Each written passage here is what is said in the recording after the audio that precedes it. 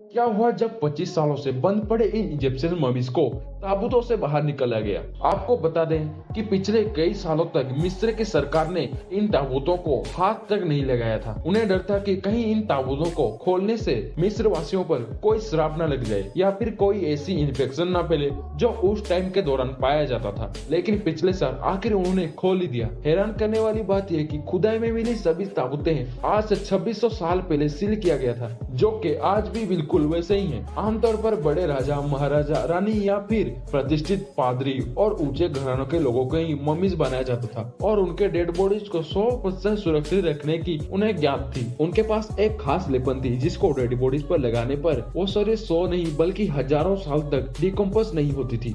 के अलावा शरीरों के गलने वाले अंगों को निकाल दिया जाता था। इन अंगों को हुक के ज़रिए से निकाला जाता था। फिर अंदर के मॉइस्चर को निकालने के लिए नमक का इस्तेमाल किया जाता था। उसके बाद उन्हें ताबूतों में बंद करके सीधा पिरामिड के अंदर ले जाकर रख देते थे।